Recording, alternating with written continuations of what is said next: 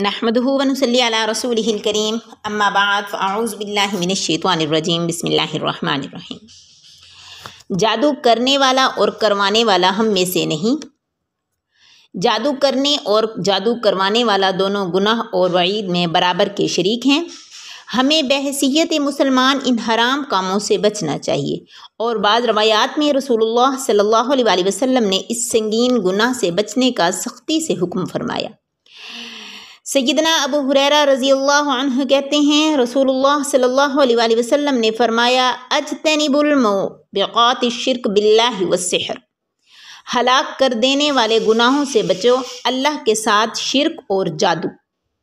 एक और हदीस मुबारक में आप सल्लल्लाहु अलैहि वसल्लम ने फरमाया कि तीन तरह के लोग जन्नत में दाखिल नहीं होंगे। एक शराब पीने वाला, दूसरा कतारहमी करने वाला और जादूगर की तस्दीक करने वाला, जादू पर यकीन रखने वाला मतलब।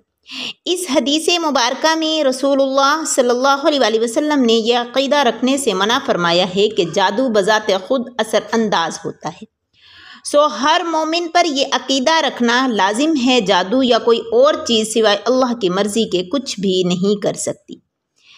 अल्लाह ताला का फरमान है कि वमाहम बिगौरीन बिही मिन अहदिन इल्ला बिइज़्निल्लाह। और जादूगर इस जादू के ज़रिए बग़ैर अल्लाह की मशीयत के किसी को नुकसान नहीं पहुँचा सकते। इल्म नजूम जादूगरी है, जादू का इल्म सीखना कुफ्र है और इल्म नजूम का ताल्लुक जादू से है। रसूलुल्लाह सल्लल्लाहु अलैहि वसल्लम का फरमान मुबारक है कि इब्ने अब्बास रज़ी अल्लाह कहते हैं कि रसूलुल्लाह सल्लल्लाहु अलैहि वसल्लम ने फरमाया, जिसने सितारों का इल्म सीखा, गोया इसने जादू का एक हिस्सा सीख लिया।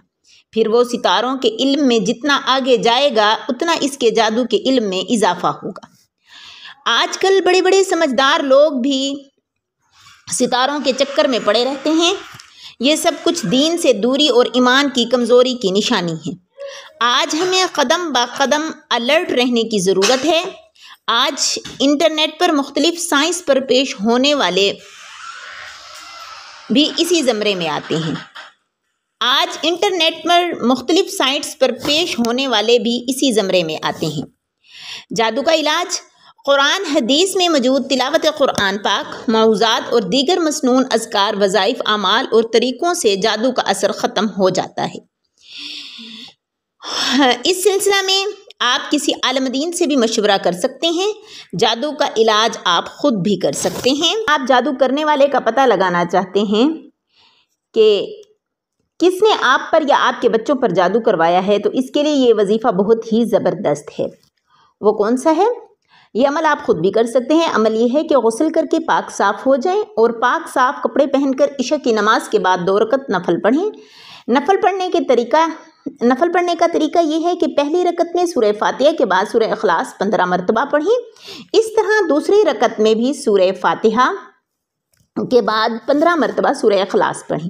और नफल पढ़ने के बाद दुआ मांगें और अपना मकसद बयान करें इन इस वजीफ़ा की बरकत से बहुत जल्द आपको ऐसी निशानियाँ नज़र आना शुरू हो जाएँगी, जिससे आपको जादू करवाने वाले की पहचान हो जाएगी और आप मज़ीद नुकसान से बच सकते हैं। अगर किसी पर सेहर या जादू के असरात पाए गए हैं तो आप सूर्य नास को सत्तर मरतबा पढ़कर दम करें। इस मरीज़ को सुबह नहार मुँह या पानी पिलाएँ। अल्लाह ताला के हुक्म से शिफा होगी